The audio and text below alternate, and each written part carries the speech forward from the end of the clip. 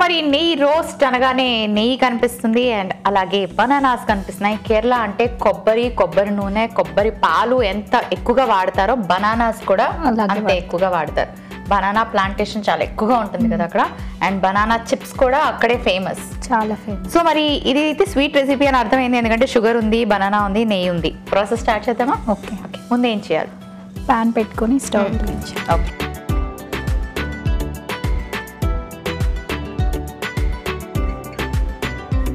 Pan heat ఎక్కే వరకు banana peel తీసేయాలి. ఓకే బనానా ఆల్రెడీ స్లైసెస్ లా కట్ చేసుకున్నారు పీల్ తీసేసేయాలి. తీసేయండి. సో పాన్ హీట్ అయ్యాక నెయ్యి వేసుకోవాలా ఫస్ట్ నెయ్యి వేసుకో అయితే కొంచెం నెయ్యి వేస్తా. కొంచెం వేయాలా? ఎక్కువ వేయాలా? కొంచెం వేయండి. వన్ స్పూన్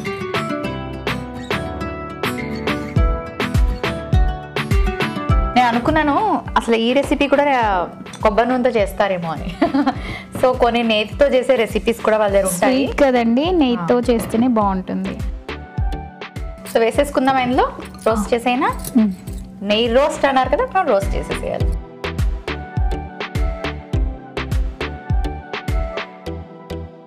అది ఇచ్చేసేయండి మీరు తీసేలోపు నేను రోస్ట్ చేస్తున్నాను బనానాని బనానా లాగా తినకుండా ఇలా నెయ్యిలో వేసి రోస్ట్ చేస్తే ఎలా ఉంటుందో. నేనైతే ఎప్పుడు అలా టేస్ట్ చేయలేదు. సో ఈరోజు టేస్ట్ చేయబోతున్నాను. బనానా కాకుండా ఇంకేమైనా ఫ్రూట్ కూడా వేయచ్చా? లేకపోతే మీరు ఓన్లీ బనానా వేస్తారా? వేరే ఫ్రూట్స్ కూడా యాడ్ చేసుకోవచ్చు. కావాలంటే. కావాలంటే.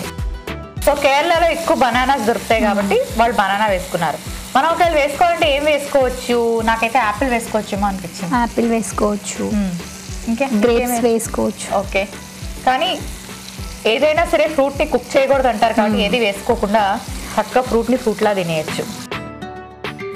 రోస్ట్ అయ్యాయా? రోస్ట్ అయ్యాయి. ఓకే. ఇంట్లో. షుగర్ యాడ్ చేయాలి. నేను వేయినా? పంచుతారా వేయండి. ఎంత వేయమంటారు? సరిపోతుంది. సరిపోతుంది? ఈ షుగర్ మొత్తము అబ్జర్వ్ అయ్యే వరకు. మ్మ్. స్టవ్ ఆఫ్ చేసేసుకుని అయిపోయిందా రెసిపీ బనానా కదా త్వరగా అయిపోతుంది. ఓకే ఇది చల్లారు పెట్టాలా? నెక్స్ట్ అంటే ఇంకా? అంతే ఫైనల్గా కాజు యాడ్ చేస్తే ఓకే. సో ఆఫ్ చేసుకున్నాం? చేయండి ఇంకా స్వీట్స్లో ఏమేమి చేస్తుంటారు మీ ఇంట్లో? మా ఇంట్లో స్వీట్స్ అంటే కీర్ చేస్తాము. ఇంకా ఫ్రూట్ సలాడ్. ఇందాకే మన రెసిపీ ఆల్మోస్ట్ అయిపోయింది. అయిపోయిందండి. ఇప్పుడు కాజు యాడ్ చేసేసి డిష్ అవుట్ చేస్తే అయిపోతుంది. పెద్దమా? డిష్ అవుట్ చేసుకొని వేసుకుందాం. పైనుంచి కాజు వేస్తే. బాగుంటుంది కదా? ఓకే ఓకే మరి సర్వింగ్ బౌల్ తెచ్చేసుకుంటాను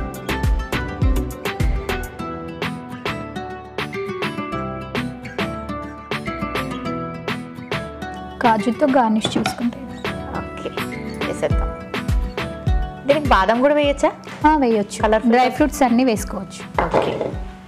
సో మరి రెసిపీ రెడీ అయిపోయింది. దీనికి కావలసిన పదార్థాలు తయారీ విధానం మరోసారి చూసేయండి. వాలుతానా వలపలం నెయ్యి రోస్ట్కి కావలసిన పదార్థాలు. అరటిపండు ముక్కలు ఒక కప్పు.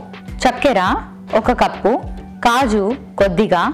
నెయ్యి రెండు టీ స్పూన్లు. వాలుతానా వలపలం నెయ్యి రోస్ట్ తయారు చేసుకునే విధానం. ముందుగా పాన్ పెట్టి నెయ్యి వేసి అందులో అరటిపండు ముక్కల్ని వేసి రోస్ట్ చేసుకోవాలి. తరువాత పంచదార వేసి బాగా కలిపి దగ్గర పడాక సర్వింగ్ బౌల్లోకి తీసుకొని జీడిపప్పు వేసి సర్వ్ చేసుకుంటే పాలుతానా వలప్పలం నెయ్యి రోస్టు రెడీ